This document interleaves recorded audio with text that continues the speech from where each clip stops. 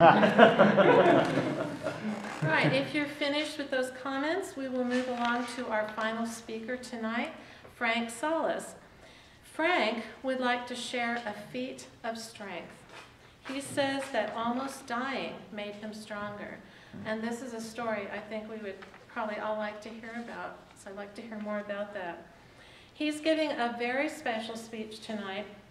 Although it is Project 8, Getting Comfortable with Visual Aids, which is five to seven minutes, this is actually his 10th speech. So this is a big accomplishment. He has completed the Competent Communicator Manual, and he can go on to the next level if he wishes to. So please give a warm welcome to Frank Solis, People Who Inspired Me in 2014. Frank Solis.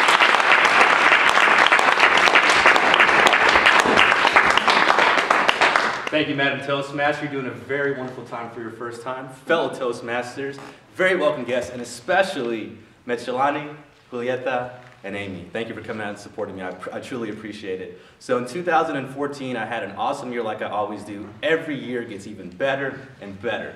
Now, at this time of year, I always make sure that I reflect on what's going, what did I do this year, and where am I going to be next year. We've got two weeks left in the year, and it's a wonderful time to reflect. It's the holidays, you see a lot of family, you see a lot of friends, you do a lot of bonding. It's just a cool time of the year. And reflecting upon this year, there was quite a few people who inspired me, and I'm actually inspired every day. But I'm going to share with you some of the people who inspired me on another level. Um, the first person I want, want to talk about is George Clooney. So George Clooney is somebody, George Clooney is somebody who I have on my personal roundtable when I have conversations with myself. I take advice from him, an imaginary George Clooney, what would he do? Um, I just aspire to be like him in certain ways. Uh, he's a gentleman of leisure. He always has on some nice suits, always looking fly. He's always hanging out with some nice ladies. He is charming, he's handsome, he's smooth, people like him, he's a likable dude. He's very hardworking, he's also a political activist, and recently this year he had a big change in his life. But before I go into that, I want to tell you what his life was like. So he was an actor, got started in the late 70s, early 80s, but his first big hit was obviously in ER from 1994 to 1999. Backtrack just a little bit real quick. In 1993, he divorced his first wife. And so, what better way to get back at your ex-wife than to be the heartthrob stud on ER, being the doctor? Don't see a better way. So during this time, he captivated the nation for five years, and he landed a couple movie roles. The biggest one was actually Batman and Robin. I don't know if you guys ever seen that horrible movie. Worst Batman ever, right? But it was the highest grossing film he's uh, ever done at, up until that point, or in his early career. So it made him a lot of money, got him a lot of exposure, and people pay to see Batman, and people didn't pay to see Batman, people paid to see George Clooney. He sold that movie.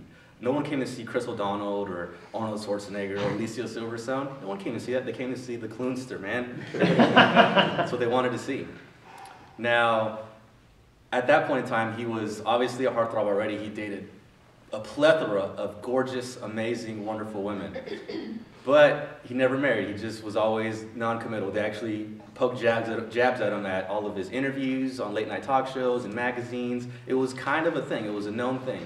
Um, that being said, when it came time to be out there, be out and about, and just enjoy and sow his, his roots or enjoy, enjoy himself, he definitely did that. His biggest accomplishment to me, something that I look up to look up to him for, is he dated Stacy Keibler. I don't know if you guys know who Stacy Keibler is. She is a WWE diva, which so she's a model, she's an actress, she's gorgeous. So he dated her for two years um, and broke up with her in 2011. Now, at this point, he is 51. So he's 51, still good looking, still handsome, still rich, does an awesome job, awesome lifestyle. But he pretty much dated all the hot actresses in, in Hollywood. He randomly meets this gorgeous woman uh, in, when he's 52, and she's 35 at the time. And she is from a well-to-do family. She has a bachelor's in uh, law from Oxford University. She has a master's in law from NYU. She's gorgeous, she's gorgeous, she's gorgeous. She's a, ph- a phil- philanthropic person. Uh, she does a lot of community service. She's an author. She's an accomplished woman, and she's got the beauty and brains. She's what we call a unicorn. They don't exist. you hear, you hear about it? you hear about it? Ne- never happens. she's, she's never been married. She doesn't have any kids. Wow. At 36 years old. So at 53, he decided to get married to this woman. And for me, that was awesome because, and very life changing because I always thought, okay, yeah, let's just play the game up and then die, whatever. But now there's an end tunnel. I, like he proved it to me. There's a way to end it. Now, that's, that's, that's a really big accomplishment for him that really inspired me this year. My second person that inspired me this year is Grant Cardone. He is a motivational speaker. He's a multimillionaire. He is a New York Times best-selling author. He's based in Miami. I'm sorry, he's based in Miami. And this year, he did two really big things. Number one, he started his own private jet airlines. So if you want to fly private, you can do that with Grant Cardone's company um, on his private jet, and sometimes with Grant Cardone, um, which is really cool just to share a three, four, five, six hour plane ride with someone who is going to motivate you, who is going to get you to that next level, and just even converse with that guy.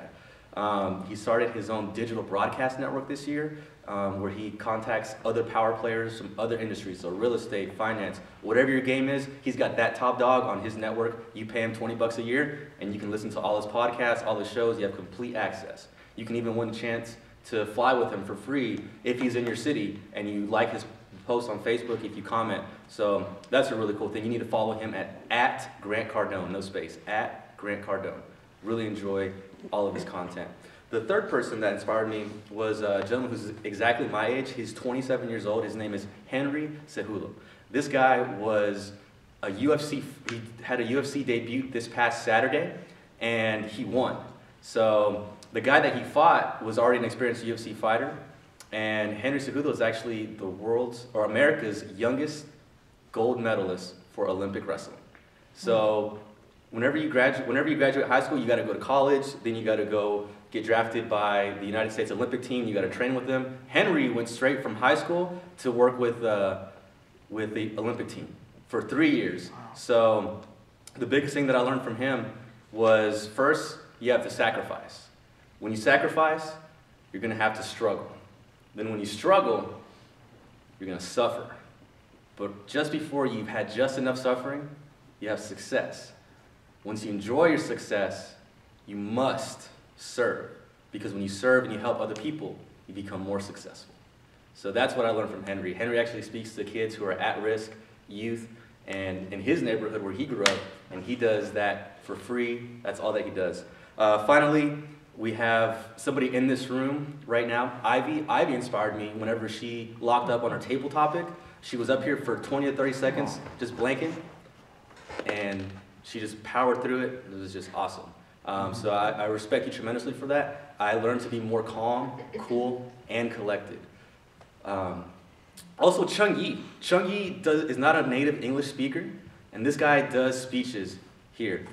So I wouldn't go to Taiwan and do a speech in you know, Taiwanese or whatever they Cantonese, whatever they speak over there. I wouldn't do that. I think that's really brave for him to come to America and not even be his first or second language. I think that's crazy brave for him to do that. Um, and all of you guys inspire me every week when you guys come up here. We're all at different levels, and the better you guys get, the better I get. And I just want to see everybody grow, not just you know certain people. Keep the effort up. Keep coming every Tuesday. Bring the heart. Bring the swagger. Uh, Madam Toastmaster, thank you so much.